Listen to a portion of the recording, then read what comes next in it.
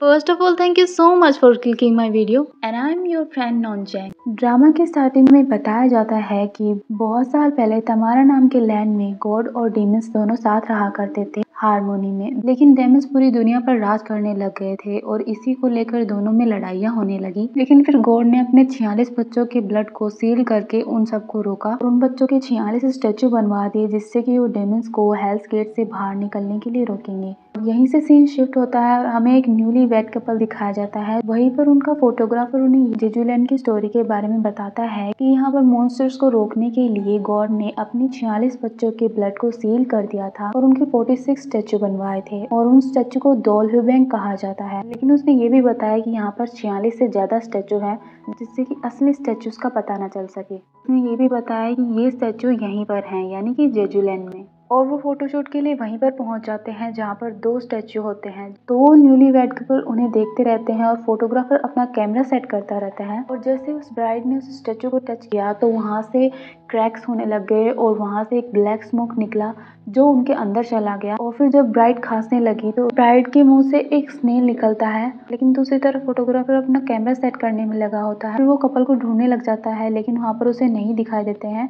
लेकिन जो वो पीछे देखता है तो उसने देखा कि ग्रूम वहीं पर खड़ा था, जो कि एक मॉन्स्टर में कन्वर्ट हो गया था और वो उस फोटोग्राफर को मारने लगता है। लेकिन फिर अचानक से उसके सर पर एक तलवार का अटैक होता है और यहीं पर हमारे फ़र्स्ट मेन लीड कैरेक्टर को दिखाया जाता है, जिसका नाम वान होता है। और फिर यहीं से सीन शिफ्ट होता है, जहाँ पर दो प्रिस्ट एक पेंटिंग को देख रहे होते हैं, जिसमें से ब्लड निकल रहा होता है। तो फिर वो हाई प्रिस्ट उसे कहता है कि जल्दी से युवान को बुला कर लेकर आओ। तो फिर वो प्रिस्ट दौड़ते हुए युवान के पास जाता है और वहीं पर हमें युवान को दिखाया जाता है, जो हेडफोन लगाकर एक्सोसिज्म की प्रैक्टिस कर रहा होता है और वहीं पर हमें एक लड़की दिखाई जाती है जिसे बाँध कर रखा हुआ होता है, क्योंकि उस पर डिमंस ने पजेस कर लिया था। और जब युवान उस लड़की के पास जाता है एक्सोसिज्म करने तो वहीं पर वो प्रिस्ट आ जाता है और उस लड़की को देखकर घबरा जाता है। लेकिन फिर युवान उस प्रिस्ट के पास जाता है और उसे शांत होने के लिए कहता है और उसे अपने हेडफोन यूज़ करने के लिए कहता है। फिर वो वापस अपना काम करने लग जाता है। और उसके बाद वो प्रीस्ट से मिलता है और उनसे बातें करता है। और प्रीस्ट युवान को वो पेंटिंग दिखाता है। तो युवान उससे कहता है कि ये लड़की कौन है? तो प्रिस्ट युवान को बताता है, जब बहुत साल पहले अच्छाई पर बुराई काबू करने लगी थी, तब यही लड़की सीवियर बनकर आई थी। लेकिन वो अपना मिशन कंप्लीट करने से पहले ही मारी जा चुकी थी और जिसने उसे मारा था, वो अभी तक ज़िंदा है जेजूलैंड में। फिर वो कहते हैं कि डीमंस हम पर फिर से हमला करने वाले हैं और अपनी शक्तियों को बढ़ाने पर काम करने वाले हैं और हमें इन्हें रोकना होगा। और वो युवान को बताते हैं कि कुछ साल पहले ही एक सेवियर ने जन्म लिया है और उसको हम प्रोटेक्ट कर रहे हैं और हमने उस पर नज़र रखी हुई है।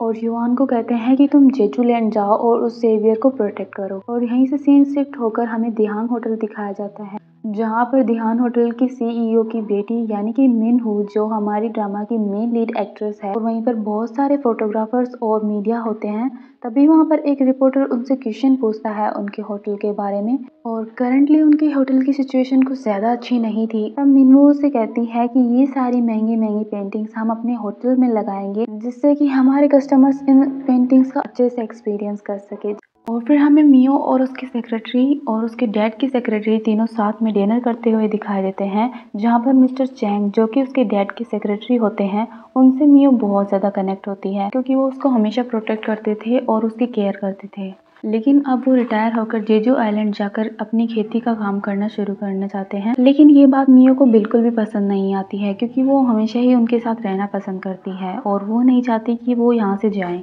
और फिर तभी वहीं पर मिनहो की आंट भी आ जाती हैं, जो कि उसे बिल्कुल भी पसंद नहीं करती हैं और वो उनसे कह, और फिर उसकी आंट उससे कहती है कि एक तुम्हारी ही वजह से मुझे अपने ही होटल के बारे में आर्टिकल से पता चलता है। तो फिर मिनहू अपनी आंट से कहती है कि एक दिहांग होटल ही ऐसा है जिसकी ग्रोथ हर साल नेगेटिव हो रही है और फिर मुझे तो इसमें इन्वॉल्व होना ही था। तो फिर उसकी आंट कहती है कि होटल मेरा है तो मुझे चिंता करने की ज़्यादा ज़रूरत है, तुम्हें नहीं। तो फिर मीना उससे कहती है कि दिहांग होटल के 40 परसेंट शेयर दिहांग ग्रुप के हैं और बाकी के 25 परसेंट मेरे डैड के हैं और आपके 17 परसेंट है। और मेरे हैं 18 परसेंट और मैं अपने डैड की सक्सेसर हूँ तो मुझे तो चिंता करनी ही पड़ेगी ना। तो फिर ये सुनकर उसकी आंट वहाँ से गुस्से में होकर चली जाती है और फिर मिनहो जब वापस जा रही होती है तो उसकी गाड़ी के आगे अचानक से एक और गाड़ी आ जाती है और उसकी गाड़ी उससे टकरा जाती है। तो फिर सेक्रेटरी बाहर निकल कर देखता है तो वहाँ पर दो लोग होते हैं, जिनसे वो माफ़ी मांगने की कोशिश करता है, लेकिन वो उसे फिर भी परेशान कर रहे होते हैं। तो फिर मिनहो खुद जाती है वहाँ पर और उनसे माफ़ी मांगती है और सिचुएशन को संभालने की कोशिश करती है, लेकिन उससे कोई फ़र्क नहीं पड़ता है उन्हें। लेकिन वो नहीं मान रहे थे, और उसके सेक्रेटरी को परेशान किए जा रहे थे, और उससे गुस्सा आ जाता है और वो उन दोनों से फाइट करती है, और तभी उनमें से एक आदमी उसकी वीडियो बना लेता है, और इसके बारे में मिनहो को नहीं पता होता है। फिर यही वीडियो नेक्स्ट डे वायरल हो जाती है, और ये सब उसकी आंट ने ही करवाया था, जिससे कि उसकी और उसके डैड की रेपुटेशन खराब हो जाए। और ऐसा ही हुआ और उसके डैड उससे नाराज़ हो गए थे और उसने अपने डैड को समझाने की बहुत कोशिश की कि ये सब उसकी आंट ने करवाया है और इसमें मेरी कोई गलती नहीं है। लेकिन फिर उसके डैड नहीं मानते हैं और उससे कहते हैं कि तुम्हें सबसे माफ़ी मांगनी होगी और उन्होंने कहा कि इस मामले को शांत करने के लिए तो तुम्हें थोड़े दिन कंपनी से दूर रहना होगा और, तभी वहाँ पर मिस्टर चैंग भी आ जाते हैं और वो मिनवू को जेजू आइलैंड में स्कूल में वॉलंटियर करने का आइडिया बताते हैं। लेकिन जब वो एयरपोर्ट पर पहुँचती है तो वहाँ पर बहुत सारी मीडिया खड़ी होती है तो वहाँ से भागने लगती है और बैक डोर से बाहर निकल जाती है। और जब उसने बाहर कदम रखा तो उसे एक अजीब सी एनर्जी फील हुई और वो एकदम से शॉक हो गई थी। और उसी टाइम पर हमें दूसरी तरफ़ दिखाया जाता है एक लेडीज़ को जो जंगल में होती है और उसे भी वही एनर्जी फील होती है।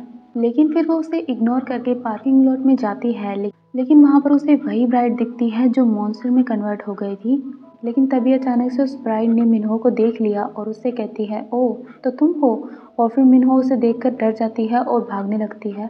और फिर भागते भागते मिनहो एक खुले वैन में जाकर खुद को लॉक कर लेती है। लेकिन फिर भी वो मॉन्स्टर उसका पीछा नहीं छोड़ता है और उस वैन में हाथ घुसाकर वो उसे खींचने की कोशिश करता है और मिनहो बहुत ज़ोर से चिल्ला रही होती है। और जब वो मॉन्स्टर मिनहो के एकदम करीब आ गया था वाहन होता है, वो एकदम स्पीड से आते हैं और उस मॉन्स्टर को वैन से बाहर निकाल देते हैं। और फिर वहाँ पर वान और मॉन्स्टर की ज़बरदस्त लड़ाई होती है, जिसमें वान उसको हरा देता है और फिर वो मिनो को जाकर देखता है कि वो ठीक है या नहीं और उसकी तरफ़ देखने लग जाता है। और जब वो उसकी तरफ़ देखता है तो मीनू के अंदर से फिर से वही एनर्जी रिलीज़ होती है और फिर वो बेहोश हो जाती है। और जब उसे होश आता है तो उसका सेक्रेटरी उसे बताता है कि आप मुझे पार्किंग लॉट में बेहोश मिली और उस आदमी का कुछ भी पता नहीं चला जिसने आपकी जान बचाई थी। और फिर हमें नेक्स्ट सीन में वान को दिखाया जाता है, जो उसी औरत से मिलता है, जिसे मिनहो के आने से वही एनर्जी फील हुई थी, जो मिनहो को हुई थी, जिसका नाम बेकचो था। और उन दोनों की बातों से ऐसे लग रहा था कि वो मिनहो के आने का इंतज़ार कर रहे थे। और फिर बेकचो कहती है कि वो सही से जागी नहीं है, नहीं तो वो तुम्हें पहचान लेती। और फिर वो बताता है कि उस पर लस डेमन ने अटैक किया था और फिर हमें बहुत साल पुराने जेजू आइलैंड का सीन दिखाया जाता है, क्योंकि उस गाँव में सभी को एक लस डेमन ने मार डाला था और वहाँ पर सभी मर चुके थे एक बच्चे को छोड़कर। तो उस बच्चे को वो एक मोंग के पास ले जाते हैं और वो मोंग कुछ बच्चों को डीमन स्लेयर बनाना चाहता था तभी वहाँ पर बैग जो आती है और उसे मना करती है ये सब करने के लिए, क्योंकि उसने पहले भी ऐसा करके बहुत से बच्चों की जान ले ली थी, लेकिन फिर वो नहीं मानता है। और वो उससे कहता है कि इसके अलावा हमारे पास कोई रास्ता नहीं है लस डेमन को रोकने के लिए। और फिर उन सभी बच्चों को एक गुफा में लेकर जाता है और वहाँ पर उस रूम में एक बड़ा सा डेमन होता है, जिसे बांधा हुआ था। और सभी बच्चे उसे देखकर डर जाते हैं। और फिर मॉन्क उन सभी बच्चों को बताता है कि ये एक एवल स्पिरिट है, जो कि एक लस डेमन है, जो बुरी सोच पर सरवाइव करता है और इसके सामने आने वाली हर एक ज़िंदा चीज़ को मार डालता है। एक नॉर्मल इंसान को इसे हराना बहुत मुश्किल है। इसे पकड़ने के लिए बहुत से इंसानों की जाने गई हैं। तभी वहाँ पर वो मॉन्क एक छोटी तलवार लेकर उस मॉन्स्टर के सीने में घुसा देता है और उसका ब्लड जो एक आग की तरह होता है, उसे एक बॉल में डाल लेता है। और फिर उन बच्चों को भी उसी तलवार से छेद करके उस ब्लड को उनके शरीर में डाल देता है। और फिर वो ऐसा करके वहाँ से चले जाते हैं और फिर जब सुबह देखते हैं, वहाँ पर दो ही बच्चे ज़िंदा रहते हैं तो फिर वो मोंग उनसे कहता है कि तुम अब डेमन स्लेयर बनोगे। और उनमें से एक बच्चे का नाम वो वान रखता है और दूसरे का नाम गोंगटैंग। और वो उन्हें बताता है, और वो उन्हें बताता है कि तुम्हारे अंदर एक लस डेमन का ब्लड है तो तुम अब आधे इंसान और आधे डेमन हो। फिर वो उन दोनों को डीमन स्लेयर बनने के लिए उनकी ट्रेनिंग शुरू करवा देता है। तभी वहाँ पर जब उनकी ट्रेनिंग चल रही होती है, तभी वहाँ पर बेकजो आती है और उसके साथ एक लड़की आती है जिसका नाम वॉन्गजियोंग था। तभी वहाँ पर वॉन्गजियोंग की नज़र वान पर पड़ती है तो वो एक दूसरे को बहुत ही ध्यान से देखते हैं और यहीं से सीन शिफ्ट हो जाता है और हमें मीनू को दिखाया जाता है, जो जेजू लैंड में एक तामरा नाम की जगह पर रह रही थी। और वो तामरा नाम की हाई स्कूल में एक गाइडेंस काउंसलर के रूप में काम ज्वाइन करती है। और तभी वहाँ पर एक टीचर आती है और वो उससे कहती हैं कि मुझे बिल्कुल भी अच्छा नहीं लगा क्योंकि तुम यहाँ पर आई हो। और फिर वो एक दूसरे की तरफ़ देखने लग जाते हैं और फिर स्माइल करते हैं। वो एक दूसरे से मिलकर बहुत खुश होते हैं क्योंकि वो पहले से एक दूसरे को जानते थे क्योंकि वो मिनहो की फ्रेंड थी। और फिर वो जब स्कूल से वापस जा रही होती है तो उसके डैड का उसके पास फ़ोन आता है और उन्हें बताते हैं कि कल्चर चेयरमैन उसके आंट को बना दिया गया है। जो कि मियो का था और इस बात को सुनकर वो बहुत ज़्यादा अपसेट हो जाती है और तभी उसके पास उसके इन्वेस्टिगेटर की कॉल आती है और उसे जो पता चलता है वो उसे शॉक कर देता है और उसे ये पता चलता है कि उसकी आंट से उसका सेक्रेटरी मिला हुआ होता है और उसी ने ही उसकी आंट की मदद की थी उस वीडियो को वायरल करवाने में और फिर वो गाड़ी रुका देती है और बाहर निकल जाती है और काफ़ी ज़्यादा इमोशनल हो जाती है। क्योंकि वो अपने सेक्रेटरी पर बहुत भरोसा करती थी। और उसने अपने सेक्रेटरी से कहा कि मैंने तो तुम पर बहुत भरोसा किया था, लेकिन तुमने तो मुझे ही धोखा दिया। और फिर उससे कहती है कि तुमने मेरी आंट का साथ क्यों दिया? तो फिर वो कहता है कि मैं तो स्टार्टिंग से ही तुम्हारे आंट के साथ था। ये सब सुनकर उसे बहुत बुरा लगता है। और फिर उसका सेक्रेटरी उससे कहता है कि अगर तुम्हें इस कंपनी में रहना है तो तुम्हें बहुत कुछ रहना होगा। और फिर वो जब ऐसे बातें कहता है तो उसे गुस्सा आ जाता है और वो उसे नीचे गिराकर वहाँ से चली जाती है। और फिर वो वहाँ से पैदल ही चलने लग जाती है।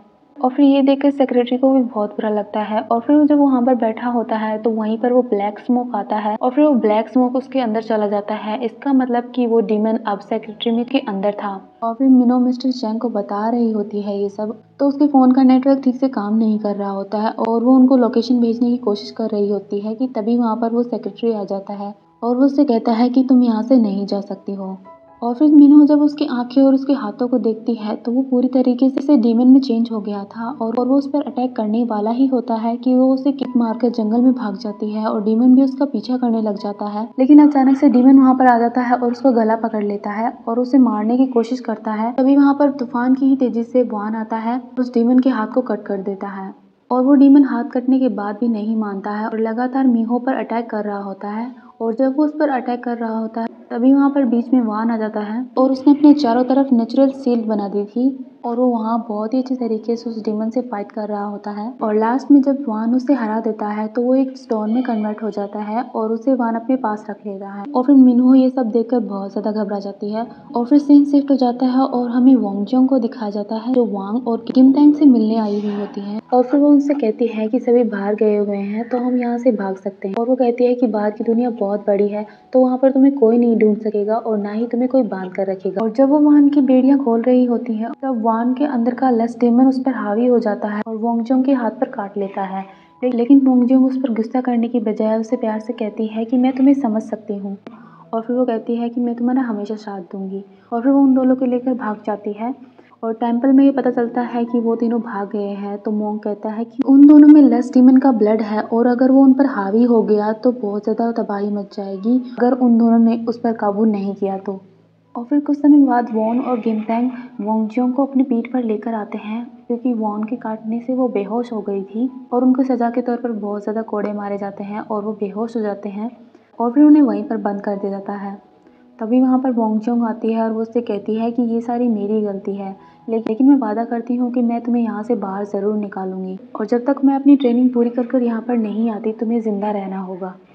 और फिर सीन प्रेजेंट टाइम में शिफ्ट होता है, जहाँ पर युवान मिस्टर चैंग से 10 साल बाद मिलने आया हुआ होता है। और जब मिस्टर चैंग ने युवान की कोरियन सुनी तो वो तो उसके फ़ैन ही हो गए थे। तो युवान उन्हें बताता है कि जब वो फ्री होता है तो उसे के पॉप और के ड्रामा देखना बहुत पसंद है, इसलिए वो इतना अच्छा है इसमें। और दूसरी तरफ़ मिस्टर चैंग उसकी अचीवमेंट से बहुत ज़्यादा इम्प्रेस थे, क्योंकि वो इतनी छोटी उम्र में ही सुपर नेचुरल पावर्स पर इतनी अच्छी पकड़ बना ली थी। और युवान भी मिस्टर चैंग को बहुत ज़्यादा अप्रिशिएट करता है क्योंकि उन्होंने अपनी पूरी लाइफ सेक्रीफाइस कर दी थी सेवियर को बचाने के लिए। फिर वो मिस्टर चैंग से कहता है कि आपने तो वो भविष्यवाणी सुनी ही होगी कि अच्छाई पर बुराई फिर से हावी होने वाली है और डीमंस फिर से धरती पर आने वाले हैं। तो फिर मिस्टर चैंग उससे कहते हैं कि तुम्हारा क्या प्लान है? तो फिर युवान मिस्टर चैंग से कहते हैं कि मुझे ये तो पता ही है कि मीहो ही वो सेवियर है जिसे मुझे प्रोटेक्ट करना है, लेकिन उससे पहले मुझे उसे अवेकन करना होगा जिससे ही उसे सब कुछ याद आ जाए। लेकिन उसके अंकल कहते हैं कि ये काम बहुत ही ज़्यादा डिफ़िकल्ट है कि मुझे पूरा भरोसा है कि तुम ये कर लोगे, और मैं तुम्हें मीहो से अपना रिलेटिव कहकर मिलवाऊँगा जिससे उसे शक ना हो। और तभी वहाँ पर मिस्टर चैंग वहाँ पर पुलिस लेकर आ जाते हैं, लेकिन वहाँ से वान गायब हो जाता है। और फिर पुलिस मीहो से पूछती है तो वो सब कुछ बता देती है और सुपर पावर और डीमन के बारे में वो सब कुछ बता देती है, लेकिन पुलिस को उस पर यकीन नहीं होता है। तो वो पुलिस वाला ऐसा सोचता है कि ये अभी भी शौक में है और फिर वो घबराती हुई मिस्टर चैंग को कहती है कि आप डैड को कॉल कर दीजिए और उनसे कह दीजिए कि मैं सियोर वापस आ रही हूँ। लेकिन मिस्टर चैंग उनसे कहते हैं कि उसकी तबीयत थोड़ी ख़राब है और वो थोड़ी स्ट्रेस्ड है, लेकिन वो ठीक हो जाएगी। लेकिन वो वहाँ से कैब लेकर चली जाती है और एयरपोर्ट पर जब वो पहुँचती है, उसे नहीं पता होता है कि वहाँ पर भी डीमन उसका पीछा नहीं छोड़ेगा और तभी वहाँ पर सिक्योरिटी गार्ड में वो डीमन घुस जाता है और जब मीहो अपनी टिकट ले रही होती है तो वहाँ पर उसे एक सिक्योरिटी गार्ड आता है और वो उसकी तरफ़ देखने लग जाती है और जब वो उसकी आँखों की तरफ़ देखती है तो वो डर के वहाँ से भागने लगती है और डीमन भी उसका पीछा करता है। और फिर वो भागते हुए एक कार में बैठ जाती है, लेकिन वो डीमन वहाँ पर भी आ जाता है। लेकिन वो जैसे तैसे करके उस डीमन को धक्का मारकर, उस गाड़ी को ड्राइव करके वहाँ से चली जाती है। लेकिन वो डीमन उसकी कार के ऊपर ही होता है, जिससे मीहू कार का ब्रेक लगाकर उसे आगे गिरा देती है और वो कार उस पर चढ़ा देती है, लेकिन वो डीमन मरा नहीं होता है। और वो गाड़ी के मिरर को तोड़कर उस पर अटैक करने वाला ही होता है। लेकिन मिन्हो को अचानक से दिखता है कि वहाँ पर एक डोल बैंक का स्टैचू था, लेकिन वो सिर्फ़ उसे ही दिखाई देता है, क्योंकि वहाँ पर तो सिर्फ़ एक सिंपल सा पोल ही था, जिससे उसकी गाड़ी टकराकर पलट जाती है। और मियो उस गाड़ी से निकलकर वहाँ से भाग जाती है और एक जगह जाकर छुप जाती है। लेकिन वो जहाँ पर छुपी हुई होती है, उससे अचानक से आवाज़ हो जाती है, जिससे उस डीमन को पता चल जाता है कि वो वहाँ पर है। तभी वहाँ पर फिर से वान आ जाता है, फिर वान उस डीमन से फाइट करता है और उसे हरा देता है और फिर वो भी एक स्टोन में कन्वर्ट हो जाता है और वान उसे अपने पास रख लेता है। और फिर वान मीहो से कहता है कि तुम्हें अभी भी कुछ याद नहीं है। तो फिर मीहो कहती है कि क्या मुझे कुछ याद होना चाहिए? मुझे क्या याद नहीं है? और ये सारे डीमन मेरे पीछे क्यों पड़े हैं? और मेरा सेक्रेटरी भी डीमन कैसे बन गया? मुझे कुछ समझ में नहीं आ रहा है। फिर वान उसे बताता है कि ये लस डीमन है, जो कि एक बहुत ही बुरी शक्ति है। और ये इंसान को मारकर उनका शरीर लेकर उन्हीं के बीच रहते हैं। तो फिर वो कहती है कि ये सब मेरे पीछे ही क्यों पड़े हैं? तो फिर वान कहता है कि ये तुम्हारी किस्मत है, और वो जब तक अपना मकसद पूरा नहीं कर लेते, वो तुम्हारे पीछे पड़े रहेंगे। और फिर हमें युआन को दिखाया जाता है, जो डिमन के पार्ट्स को कलेक्ट कर रहा होता है और ये सोच रहा होता है कि उसे कैसे मारा गया। तभी वो मिस्टर चैंग को कॉल करता है और वो उनसे पूछता है कि काले कोट वाला आदमी दिखता कैसा है और वो कौन सा वेपन यूज़ करता है इन मॉन्स्टर्स को मारने के लिए। तो फिर मिस्टर चैंग कहते हैं कि इतना एक्साइटेड होने की ज़रूरत नहीं है, जब तुम उससे मिलोगे तो तुम्हारी सारी एक्साइटमेंट डर में बदल जाएगी। और फिर हमें मीहो को दिखाया जाता है जो वान को याद कर रही होती है। तभी वहाँ पर मिस्टर चैंग आते हैं तो मीहो उसे कहती है कि आपने मुझे क्यों नहीं जाने दिया? तो फिर मिस्टर चैंग कहते हैं कि तुम्हारी आंट बहुत शातिर है और वो तुम्हें तुम्हारी कंपनी से निकलवा देंगी और, फिर हम कुछ भी नहीं कर पाएँगे बिना परफेक्ट प्लान के। तो फिर मीहो स्लीपिंग पिल्स लेकर सो जाती है। लेकिन वो बहुत कोशिश करती है सोने की लेकिन उसे नींद ही नहीं आ रही होती है। तभी अचानक से एक आवाज़ आती है और उसे सुनकर वो छुप जाती है। लेकिन फिर वो धीरे धीरे जब बाहर निकल कर देखती है और फिर वहाँ पर वान बहुत ही स्पीड से उसके रूम के अंदर आ जाता है तो फिर मीहो कहती है कि वहाँ पर कोई लस डीमन था क्या? तो फिर वो कहता है कि हाँ था लेकिन अब नहीं है। और वहाँ मुझसे कहता है कि ये तो इतने सारे हैं कि तुम इन्हें गिन भी नहीं सकती हो। तो फिर वो कहती है कि ऐसी लाइफ से तो अच्छा है कि मुझे मर ही जाना चाहिए। फिर एकदम से वो कहती है कि तुम मेरे बॉडीगार्ड क्यों नहीं बन जाते? और फिर वो एक कॉन्ट्रैक्ट लाती है और उससे उसकी आईडी पूछने लग जाती है। तो फिर वान कहता है कि मेरे पास कोई आईडी नहीं है और ना ही मेरा कोई सरनेम है। तो फिर वो ये सुनकर हंसने लग जाती है। और फिर वो वहाँ से जाने लगता है। तो मीहो कहती है कि मुझे बहुत डर लग रहा है, तुम यहीं पर रुक जाओ और तुम मेरे बॉडीगार्ड बन जाओ। और फिर वो जाकर बैठ जाती है और बातें करते करते उसे नींद आ जाती है। तो फिर वान उसके बेड के पास देखता है, वहाँ पर स्लीपिंग पिल्स होती हैं। और फिर नेक्स्ट मॉर्निंग जब वो सुबह उठती है तो उस कॉन्ट्रैक्ट पेपर को देखकर वो बहुत खुश होती है, क्योंकि वान ने उस पर साइन कर दिए थे, लेकिन वहाँ पर कोई अमाउंट नहीं था। और दूसरी तरफ़ बैग जो जो अपनी पोती जोई को बता रही थी लिबोना के बारे में कि पुराने ज़माने में जब औरतों के साथ बहुत ज़्यादा जुल्म हुआ करता था तो वो पूरे रिचुअल के साथ लिबोना की पूजा करती थी और अपनी विश पूरी करवाने के लिए उन्हें एक अच्छा खासा प्राइज़ भी देना पड़ता था। जो जितना वेल्दी होगा, उसे उतना ही अच्छा प्राइज़ देना होगा। और अगर उन्होंने ऐसा नहीं किया तो लिबोना ये अच्छा नहीं मानता था। और फिर जोई अपनी दादी से पूछती है कि, क्या अभी भी लिबोना की स्पिरिट एग्जिस्ट करती होगी? तो फिर उसकी दादी कहती है कि, तुम्हें क्या लगता है? तो फिर वो कहती है कि, मुझे तो लगता है कि वो अभी तक होते होंगे। और फिर मीहो मिस्टर चैंग से वांग को मिलवाती है और उनसे कहती है कि इन सिचुएशन को देखते हुए मुझे एक बॉडीगार्ड की ज़रूरत है, इसलिए मैंने इसे यहाँ पर बुलाया है। लेकिन मिस्टर चैंग उसे देखते ही पहचान लेते हैं। और सीन वहीं पर शिफ्ट होता है, जहाँ पर मीहो अपनी क्लास के अटेंडेंस ले रही होती है। और जब वो सूर्यंग का नाम लेती है तो जोई वहाँ से उठकर चली जाती है और वो अपनी फ्रेंड सूर्यंग से मिलने जाती है। और वो जब उसके पास जाती है तो उसके बॉडी पर बहुत ज़्यादा मारने पीटने के निशान थे तो वो उससे पूछती है कि ये सब किसने किया? और ये सब उसके बॉयफ्रेंड ने किया था। और वो उसे बाहर निकलने के लिए और स्कूल जाने के लिए मना करता है। और वो उसको उसके प्राइवेट फ़ोटोज़ के ज़रिए उसे ब्लैकमेल कर रहा होता है। और तो फिर जोई उससे कहती है कि क्या तुम्हारे पास उसके खिलाफ कोई सबूत है? लाइक मैसेज और फ़ोटोज़ तभी उसके पास उसके बॉयफ्रेंड का फ़ोन आता है और वो उससे कहता है कि कोई तुम्हारे पास आया है क्या? तो वो बहुत ज़्यादा घबरा जाती है और जोई को वहाँ से जाने के लिए कह देती है। और जोई अपनी फ्रेंड को इस हालत में देख नहीं सकती थी। तो फिर वो मीहो के पास चली जाती है उससे हेल्प मांगने। लेकिन मीहो उससे कहती है कि वो उसकी कोई मदद नहीं कर सकती, उसे पुलिस के पास जाना चाहिए। और दूसरी तरफ़ हमें सूर्यांग को दिखाया जाता है, जो उस ब्लैकमेलिंग से बहुत ज़्यादा तंग आ चुकी थी, उसने सुसाइड करने की भी कोशिश की, लेकिन वो नहीं कर पाती है। फिर सूर्यांग उस लिबोना के पेड़ के नीचे पहुँच जाती है और सारे रिचुअल परफॉर्म करने लग जाती है। फिर वहाँ पर अचानक से अजीब सा मौसम हो जाता है और तेज़ हवाएँ चलने लग जाती हैं और वान का खंजर भी वाइब्रेट होने लग जाता है। और वो सोचता है कि कोई तो वहाँ पर ज़रूर आ गया है। फिर वहाँ से सूर्यंग गायब हो जाती है और फिर रात में जब मीहो वर्कआउट कर रही होती है तो उसे किसी के होने का एहसास होता है और वो जब पीछे पलटती है तो ज़ोर से चिल्लाती है, लेकिन वहाँ पर और कोई नहीं, युवान होता है। और फिर मिस्टर चैंग युवान को मीहो से मिलवाते हैं और उससे कहते हैं कि वो उसका भतीजा है जो इटली से आया है। तो फिर मीहो कहती है कि क्या तुम मुझे जानते हो? तो फिर वो कहता है कि हाँ कोरिया की न्यूज़ में तुम काफ़ी ज़्यादा स्कैंडल करती हो और फिर वो ड्रिंक करते हैं। तो फिर मीहो को कहती है कि मैं जेजू आइलैंड में नहीं रहना चाहती हूँ। तो फिर यान कहता है कि तुम यहाँ पर नहीं रहोगी तो मैं भी यहाँ से चला जाऊँगा। तो फिर मीहो कहती है मॉन्स्टर्स तो मेरा पीछा ही नहीं छोड़ते हैं। मैं जहाँ पर जाती हूँ वहीं पर आ जाते हैं और जो जो मुझे इनसे प्रोटेक्ट करता है, मैंने उसे बॉडीगार्ड बना लिया है। लेकिन मैं उसे बिल्कुल भी समझ नहीं पा रही हूँ। और वो वान का नाम ज़ोर ज़ोर से चिल्लाने लग जाती है और कहती है, देखो, मैंने उसे बॉडीगार्ड बनाया है, लेकिन वो यहाँ पर है ही नहीं। और वो एकदम से लड़खड़ा के गिरने वाली होती है, तभी वहाँ पर वान आ जाता है और उसे पकड़ लेता है। और इसके बाद युवान उससे मिलता है और उससे कहता है कि, तुम्हारी एज क्या है? क्या मैं तुम्हें अंकल बुलाऊँ, दादाजी या फिर भाई? क्योंकि अगर तुम एक मॉन्स्टर हो तो तुम्हें थोड़ा खतरनाक दिखना चाहिए। और क्या मैं सही हूँ? और तुमने अपना खंजर कहाँ पर रखा है? कोट के अंदर रखा है या कहीं और रखा है? तुम तो काफ़ी क्यूट हो। लेकिन फिर वान उसे कहता है कि अभी तो मेरा खंजर मेरी कोट के अंदर है, लेकिन तुम्हारी गर्दन पे भी हो सकता है। और तुम इंसान हर चीज़ को जानने में बहुत ज़्यादा एक्साइटेड हो जाते हो, और जब नहीं जान पाते हो तो बहुत ज़्यादा क्यूरियस हो जाते हो और परेशान हो जाते हो। और मुझे जानने की कोशिश तो तुम करो ही मत। और फिर वो ये कहकर वहाँ से चला जाता है। और जब सुबह मेहो को दिखाया जाता है तो वो युवान को प्रे करते हुए देख लेती है और उसे पता चल जाता है कि वो एक प्रीस्ट है और फिर वो स्कूल जाने के लिए वान को ढूंढ रही होती है। लेकिन वो उसकी गाड़ी में ही बैठा होता है और वहीं पर युवान भी बैठा होता है। तो फिर युवान कहता है कि मैं तो यहाँ पर बोर ही हो जाऊँगा तो मैं तुम्हारे साथ चलता हूँ। और फिर रास्ते में वान को किसी के होने का एहसास होता है तो फिर वो गाड़ी वहीं पर रुकवा देता है। और फिर वो बिना कुछ बताए जंगल में चला जाता है और वहाँ पर मीहू परेशान होने लग जाती है। तो फिर युवान कहता है कि कोई बात नहीं, मैं तुम्हारा बॉडीगार्ड बन जाता हूँ। और जब वो जा रहे होते हैं तो उनकी गाड़ी से जोई टकरा जाती है और वहीं पर गिर जाती है।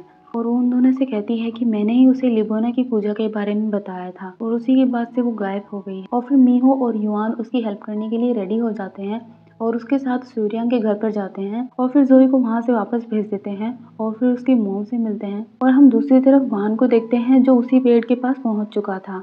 लेकिन वहाँ पर एक गड्ढा हो चुका था और वहीं पर वाहन का खंजर भी वाइब्रेट होने लग जाता है। और ये तभी होता है जब उसके पास कोई स्पिरिट हो। और दूसरी तरफ़ जब मीहू और युवान सूर्यांग से मिलने आते हैं तो वो ज़ोर ज़ोर से चीखने लग जाती है और ऐसा देखकर युवान एक कैंडल जलाता है और उसको बाँध देता है और वहाँ पर वो एक्सोसिज्म परफॉर्म करने लगता है। लेकिन सूर्यांग बहुत ज़्यादा अजीब बिहेव करने लग जाती है और वो मीहो से कहती है कि मैंने तुम्हें पकड़ लिया और उसका ऐसे कहते ही वो दोनों जंगल में पहुँच जाते हैं और दूसरी तरफ़ वान भी जंगल में ही होता है और वहाँ पर वो जिसकी स्पिरिट महसूस कर रहा था वो और किसी की नहीं, गिनतेंग की थी। और ये वही है जिसको वान के साथ लस डिमन बनाया गया था और जिसने सर्वाइव किया था। और गिमतंग ने अपने चारों तरफ़ एक इनविजिबल शील्ड बना ली थी, जिससे कि वान उसे नहीं देख पा रहा था। और दूसरी तरफ़ हमें वही मॉन्स्टर ट्री दिखाया जाता है, जिसने सूर्यांग को अपने अंदर संभाल लिया था। और वो मीहो को मारने की कोशिश करता है, लेकिन युवान उसे बचा लेता है और उसे छुपा देता है। लेकिन वो ट्री मॉन्स्टर उस पर भारी पड़ जाता है और वो अचानक से मीहो को मारने वाला ही होता है। तो वहीं पर वान का खंजर आ जाता है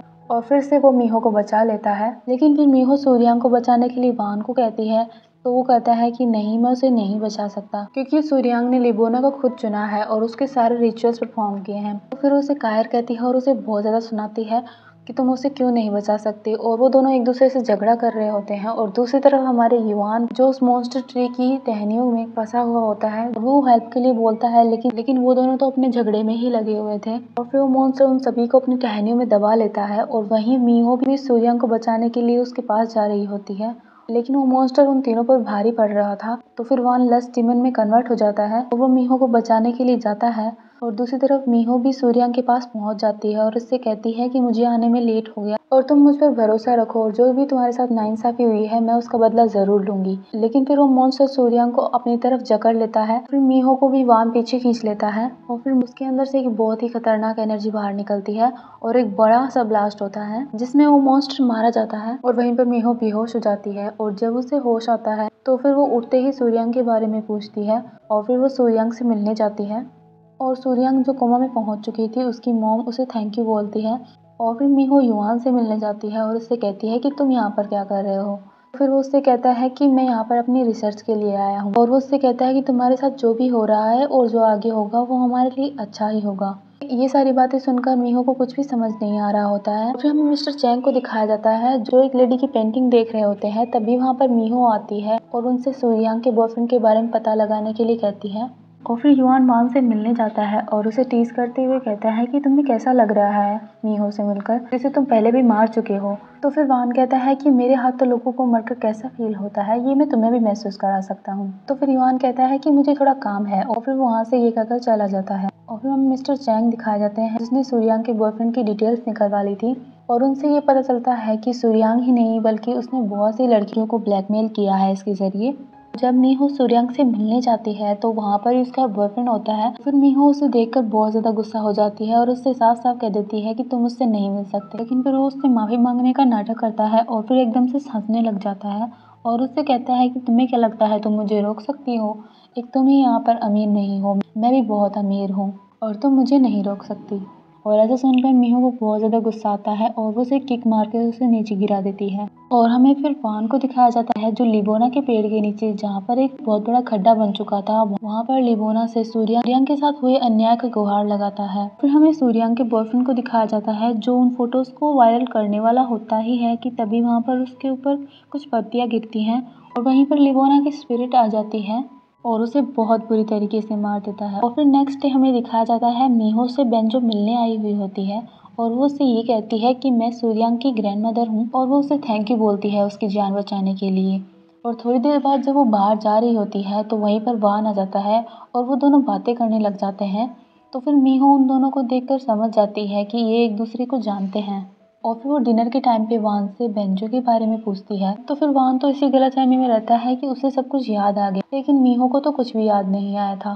और फिर वान को ये बात भी जल्दी समझ में आ जाती है। और फिर हमें नाइट का टाइम दिखाया जाता है, जहाँ पर मीहो को पता चलता है कि सूर्यांग के बॉयफ्रेंड की डेथ हो चुकी है। तो फिर वो भागते हुए युवान से मिलने जाती है, लेकिन उसे युवान मिल जाता है और उससे कहता है कि मैं तुम्हारे लिए फ्राइड चिकन लेकर आया हूँ। हम दोनों साथ में खाते हैं। लेकिन वो उसे इग्नोर करके सीधा वान से मिलने चली जाती है।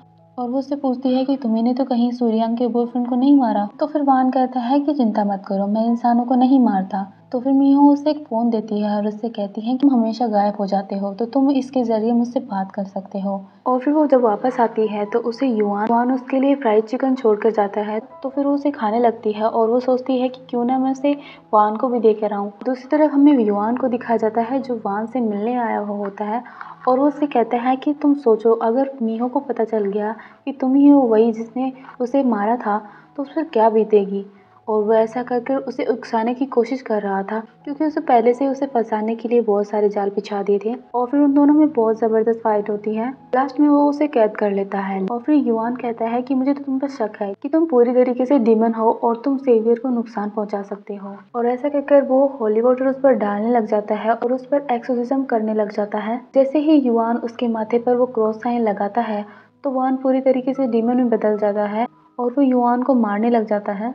तभी वहाँ पर ढूंढते ढूंढते मीहो भी वहीं आ जाती है और वो ये देखकर बहुत ज़्यादा शौक हो जाती है। और वहीं युवान उसे वहाँ से जाने के लिए कहता है, लेकिन वो बहुत ज़्यादा शौक हो गई थी और उसे कुछ सुनाई नहीं दे रहा था। तभी वान उसे छोड़कर मीहो की तरफ़ बढ़ता है और जब मीहो ने वान को लस्टीमन में देखा तो उसे थोड़ा थोड़ा याद आने लग गया।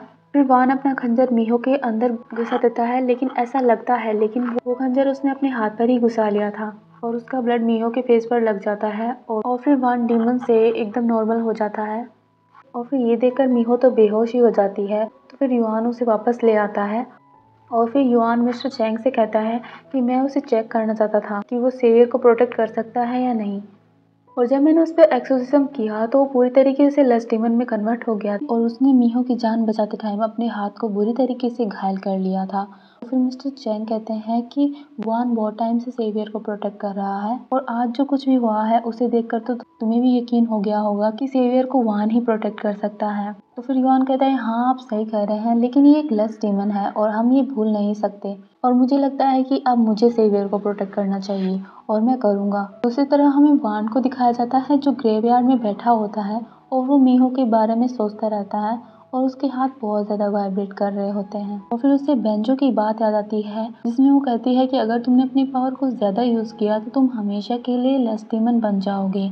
और फिर हमें मीहो को दिखाया जाता है, जो होश में आने पर वान के बारे में सोचने लग जाती है कि वो लस्टीमन में कितना डरावना लग रहा था। लेकिन वो जब मेरे करीब आया तो वो एकदम सही हो गया और उसकी आँखें भी नॉर्मल हो गई। वहीं दूसरी तरफ़ हमें किमतैंग को दिखाया जाता है, जो दो बैंक के स्टेचू को अपना ब्लड देकर बहुत सारे ब्लैक स्पिरिट को आज़ाद कर देता है, जिन्हें बाहर निकलते हुए वाहन भी देख लेता है। और फिर यहाँ से सीन शिफ्ट हो जाता है और हमें एक जंगल में दिखाया जाते हैं कुछ लोग, जिनमें से एक लेडीज़ को दिखाया जाता है, जो एक डीमन को किसी इंसान के ऑर्गन खाते हुए देख लेती है और जैसे ही वो वहाँ से डर के भागने लगती है तो फिर वो डीमन उसे भी देख लेता है और वो उसे भी पकड़ लेता है।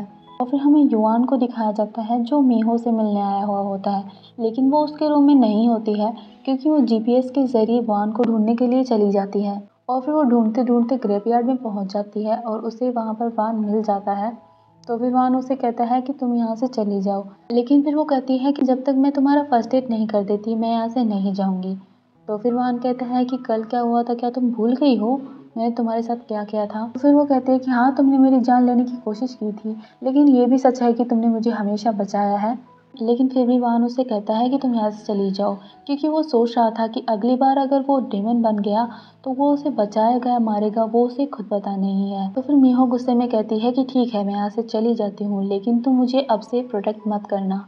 और वो गुस्से में वहाँ से चली जाती है। और जब वो वापस आती है तो मिस्टर चैंग उससे बात कर रहे होते हैं, तभी वहाँ पर युवान आता है और उससे कहता है कि अब से तुम जहाँ कहीं भी जाओगी तो मुझे साथ लेकर जाओगी, क्योंकि अब से मैं तुम्हारा बॉडीगार्ड हूँ। फिर युवान और वो स्कूल जाते हैं और उसके स्कूल में युवान को देखकर सारी लड़कियाँ अट्रैक्ट हो रही थी और वो उसे ही देखे जा रही थी। लेकिन वहाँ पर मीहो सूर्यांग को देखती है, जहाँ पर कुछ लड़कियाँ उसे बुली कर रही होती हैं और फिर वो उससे जाकर कहती है कि सब कुछ ठीक हो जाएगा, तुम चिंता मत करो, तुम्हें बस खुद को टाइम देना होगा। तो फिर सूर्यांग कहती है कि आप कौन है? मैं आपको नहीं जानती। और फिर वहीं पर जोई आ जाती है और वो सब कुछ उसे बता देती है और उससे कहती है कि ये वही टीचर है जिसने तुम्हारी जान बचाई थी। तो फिर सूर्यांग उसे थैंक यू बोलती है और फिर वो वहाँ से चले जाते हैं। तो फिर वहाँ पर सुजिन भी आ जाती है। और वो मीहू को बताती है कि नेक्स्ट वीक उसकी शादी होने वाली है वो भी उसके बॉयफ्रेंड के साथ। और फिर हमें नाइट का सीन दिखाया जाता है जहाँ पर सभी डिनर कर रहे होते हैं। और तभी वहाँ पर युवान के पास एक कॉल आती है जिसमें उसके भाई के बारे में उसे बताया जाता है। और वो ये सुनकर बहुत ज़्यादा सैड हो जाता है। तो फिर मीहो मिस्टर चैंग से पूछती है कि उसका कोई भाई भी है? तो फिर मिस्टर चैंग उसे बताते हैं कि उसका एक बड़ा भाई है जिससे वो बचपन में ही अलग हो गया था। तब से ही वो अपने भाई को ढूँढने में लगा है। और वहीं दूसरी तरफ़ हमें युवान के भाई जैंग को दिखाया जाता है जो बहुत ही गरीबी में अपना गुजारा कर रहा होता है और वो घरों में, में जाकर क्लीनिंग का काम करता है और वहीं पर जैंग सफ़ाई कर रहा होता है। तभी वहीं से दो लोग दाने मारते हुए जाते हैं। तभी वहाँ पर उनमें से एक आदमी पर वो डीमन फॉक्स उस पर अटैक कर देती है और फिर वो उसका लीवर भी निकाल कर यही कहता है कि ये मेरा नहीं है। तभी वहाँ पर वो दूसरा आदमी भी आ जाता है और वो उसे भी मार देता है। तभी वहाँ पर गिमतेंग आता है और उनकी बॉडीज को देखकर उसे अपने चाकू से चीर फाड़ कर देता है। दूसरी तरफ़ दिखाया जाता है मीहो युआन को। सुजन की वेडिंग पार्टी में लेकर जाती है जिससे कि उसका मूड थोड़ा ठीक हो जाए। और मीहो अपनी फ्रेंड को एज ए वेडिंग गिफ्ट ध्यांग होटल का सबसे महँगा और सबसे अच्छा स्वीट रूम बुक करवा देती है। और ये सुनकर तो उसकी फ्रेंड बहुत ही ज़्यादा खुश हो जाती है और मीहो भी बहुत ज़्यादा खुश होती है और बाहर से ये वान देख रहा होता है और उसे सुरक्षित देखकर वापस बेंचो के घर पर चला जाता है और वो जब उसके घर पर जाता है तो वहाँ पर बहुत सी लेडीज़ बैठी थी और वो रिसेंट हुए मर्डर के बारे में बात कर रही होती हैं कि एक लेडीज़ उसमें से कहती है कि उस पर बारह बार खंजर से वार हुआ है। फिर वो लोकेशन पर जाकर उस बॉडी को देखते ही पहचान जाता है कि गिमटेंग ने किया है। और फिर हमें मीहो और युवान को दिखाया जाता है, जहाँ पर युवान को मीहो एक ऑफ़र में लेकर आती है, जहाँ पर युवान और उसका भाई रहा करता था। वहीं पर हमें फ्लैशबैक में दिखाया जाता है कि मीहो ने मिस्टर चैंग के ज़रिए दिहांग ग्रुप ऑफ़ लीगल टीम के ज़रिए उसके भाई को ढूँढने के लिए कहा था। और युवान जब उस जगह पर जाता है तो उसे वो पुरानी बातें याद आने लग जाती हैं जहाँ पर एक क्रिश्चियन फैमिली ने उसके और उसको भाई को अडॉप्ट कर लेती है और फिर मीहो उसे उसके भाई का एड्रेस भी देती है। तभी वहीं पर एक क्रीचर भी दिखाया जाता है, जिसके ज़रिए गिमतेंग सभी पर नज़र रख रहा होता है और फिर युवान मीहो को घर पर छोड़कर अपने भाई को ढूँढने चला जाता है और फिर मीहो के पास उसकी फ्रेंड का कॉल आता है और वो उससे कहती है कि उन दोनों को उसका गिफ्ट बहुत पसंद आया और वो उसके लिए एक केक भिजवा रही है। और जब उसका हस्बैंड केक लेकर जा रहा होता है तो उसकी गाड़ी के आगे उसे ऐसा लगता है कि कोई आ गया और वो जब उतर कर देखता है तो वहाँ पर तो कोई नहीं होता है। लेकिन जब वो पीछे मुड़कर देखता है और फिर वो ज़ोर से चिल्लाता है। और तभी वहाँ पर वान को दिखाया जाता है, जिसका खंजर बहुत ज़्यादा वाइब्रेट हो रहा था और वो मीहो के घर के बाहर ही खड़ा होता है। तभी वहाँ पर मीहो भी आ जाती है, लेकिन फिर वान वहीं पर गेम टैंक को भी देखता है, जो वहाँ पर छत पर बैठा होता है। उसके हाथ में सुचिन का हस्बैंड था, जिसे उसने मार डाला था और वो उसे नीचे गिरा देता है और ये सब देखकर मीहो बहुत ज़्यादा डर जाती है और वो रोने लग जाती है। और दूसरी तरफ़ हमें युवान को दिखाया जाता है, जहाँ पर उसे एक शिप यार्ड में उसका भाई भी मिल जाता है। और वो एक दूसरे को देखते ही पहचान लेते हैं, लेकिन हैरानी की बात यहाँ पर ये होती है कि जो उसने जैकेट पहना हुआ था, वो डीमन फॉक्स के जैसा था। और फिर हमें फ्लैशबैक में दिखाया जाता है कि जिस क्रिश्चियन फैमिली ने उन्हें अडॉप्ट किया था, उनका एक पहले से ही बच्चा होता है, जिसका लीवर खराब होता है। तो फिर वो पहले तो जैंग का लीवर उसे लगाते हैं लेकिन वो काम नहीं करता है तो फिर वो युवान का लीवर भी निकाल कर उस बच्चे को लगा देते हैं और उसे एक सुनसान जगह पर फेंक देते हैं जहाँ पर वही फादर आते हैं और, उसे अपने साथ ले जाते हैं। और दूसरी तरफ़ हमें वाहन को दिखाया जाता है, जिसका खंजर बहुत ज़्यादा वाइब्रेट कर रहा था, क्योंकि वहाँ पर गिमतेंग आ चुका था और वो उसे मारने वाला ही होता है, लेकिन वो रुक जाता है। तो फिर गिमतेंग कहता है कि मैं तुम्हें यहाँ पर मारने नहीं आया हूँ और वो उससे कहता है कि तुम्हें याद है ना, हमें ज़बरदस्ती लस डिमन बनाया गया था, वो भी हमारा यूज़ करने के लिए। तो मैं बस ये पूछना चाहता हूँ कि तुम अब बार तुम मीहो को कैसे मारने वाले हो? क्या तुम्हें अभी भी लगता है कि वोनजोंग इन सबसे अनजान थी? और क्या तुम अभी भी उसे प्रोटेक्ट कर रहे हो? और वो ऐसा कहकर वहाँ से चला जाता है। और वहीं दूसरी तरफ़ युवान अपने भाई को मीहो के घर पर ले आता है। और जब मीहो आती है तो उन दोनों को देखकर बहुत ज़्यादा खुश होती है। लेकिन वो युवान को सुजिन के बॉयफ्रेंड के बारे में नहीं बताती है क्योंकि उसे उसे दुखी नहीं करना चाहती थी। फिर वो वहाँ से चली जाती है और युवान के सोते ही जैंग भी मीहो को मारने के लिए वहाँ पर चला जाता है क्योंकि हमें फ्लैशबैक में दिखाया जाता है कि किमतेंग ही उसे कहता है कि अगर तुम मीहो को मार दोगे तो तुम अपने सारे दर्द से छुटकारा पा लोगे। और वो फोक्स डीमन में कन्वर्ट हो जाता है और जैसे ही वो उसे मारने की कोशिश करता है वान की प्रोटेक्टिव शील्ड उसे अंदर नहीं जाने देती है। और वहीं पर फिर वान आ जाता है और उनके बीच बहुत ज़बरदस्त फाइट होती है। फिर युवान भी जग जाता है उन आवाजों से और वो वहाँ पर जब जाकर देखता है तो फिर वो वान को रोकने की कोशिश करता है, जिससे जैंग वहाँ से भाग जाता है। और जैसे ही वान उसका पीछा करते हुए उसे पकड़ने जाता है तो वहाँ पर अचानक से गिमतेंग आ जाता है और वो जैंग को ले जाता है। और फिर गिमतेंग वान का गला पकड़कर उससे कहता है तुम बहुत ज़्यादा वीक हो गए हो उस लड़की को प्रोटेक्ट करते करते और तुम चाहे कुछ भी कर लो, मैं उसे मार कर ही रहूँगा। और अगर हम अगली बार मिले तो तुम अपना माइंड चेंज कर लेना और तुम मेरे साथ हो जाना। और फिर हमें वान को दिखाया जाता है जिससे ब्लड की वॉमिटिंग हो रही थी। और फिर वो उसी ग्रेवयार्ड में पहुँच जाता है जहाँ पर वो एक हिरन को देखता है और वो खुद को बहुत ज़्यादा वीक महसूस करता है। और फिर मीहो अपने फ्रेंड से मिलने जाती है क्योंकि उसके हस्बैंड की डेथ हो गई थी और वो बहुत ज़्यादा रो रही थी तो वो उसे देखकर बहुत ज़्यादा दुखी हो जाती है। और फिर उसके बाद वो वान के पास चली जाती है। और वो कहती है कि मैं बहुत ज़्यादा दुखी हूँ और मुझे मेरे सवालों का जवाब चाहिए और मेरे सवालों का जवाब सिर्फ़ तुम ही दे सकते हो। वो काफ़ी कमज़ोर हालत में होता है और उसे बताता है कि तुम वोंगजोंग की आत्मा का पुनर्अवतार हो और एक सेवियर हो। और तुम्हारे जागने से पहले तुम्हें सारे डीमन मारना चाहते हैं। तो फिर मियो कहती है कि सिर्फ़ मुझे ही क्यों चुना गया है? तो वो कहता है कि तुम्हारी किस्मत में यही है और तुम्हारे जो अधूरे काम थे वो तुम्हें पूरे करने होंगे। और तुम्हारे काम पूरे होने तक मैं तुम्हें प्रोटेक्ट कर रहा हूँ और मुझे इसका इंतज़ार है। तो वो कहती है कि मैं खुद को जगा लूँगी और मैं सारे काम पूरे करके दिखाऊँगी, लेकिन इसमें मुझे तुम्हारी ज़रूरत है। क्योंकि मैं सबसे ज़्यादा ट्रस्ट तुम्हें पर करती हूँ और तुम्हें हमेशा मेरे साथ रहना होगा। और तभी वान को खून की उल्टियाँ होने लग जाती हैं। वो जब उसे देखने के लिए आगे बढ़ती है तो उसे वान मना कर देता है और वहाँ से जाने के लिए कह देता है। तो फिर वो वहाँ से बेंजो के पास जाती है और उसके पास जाकर वो वोंगजोंग के बारे में पूछती है। तो वो बताती है कि वो हेल बैरियर का काम करती थी और वो डीमंस को बाहर निकलने से रोकती थी और वो टूटी हुई चीज़ों को भी जोड़ सकती थी। तो फिर उससे कहती है कि मैं खुद को कैसे जगा सकती हूँ?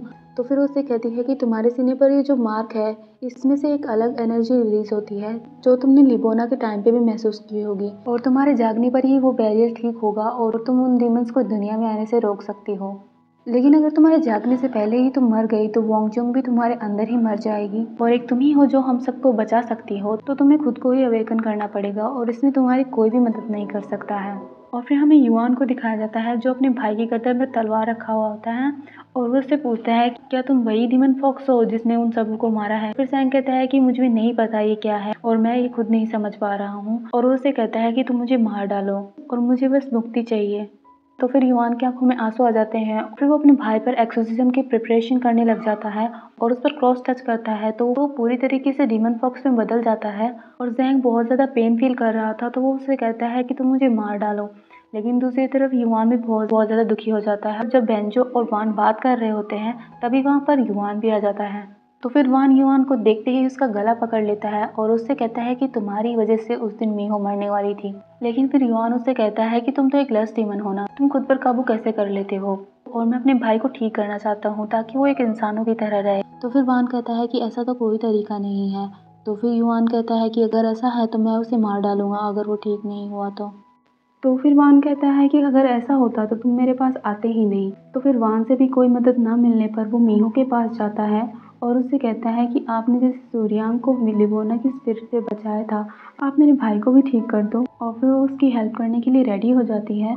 तो फिर युवान उसे उसी ऑर्फनेज में लेकर आता है, जहाँ पर उसने अपने भाई को रखा था। और फिर जब वो उसका हाथ पकड़ती है तो वो पूरी तरह डीमन में चेंज हो जाता है और उसे मारने की कोशिश करता है। लेकिन बीच में ही वहाँ पर युवान आ जाता है और वो उसी पर अटैक कर देता है और वो मीहो को मारने की वापस कोशिश करता है। और तभी वहाँ पर अचानक से वान भी आ जाता है उस फोक्स डीमन से फाइट करता है, लेकिन इस टाइम वो बहुत ज़्यादा वीक फील कर रहा होता है और उस फोक्स डीमन से हार जाता है।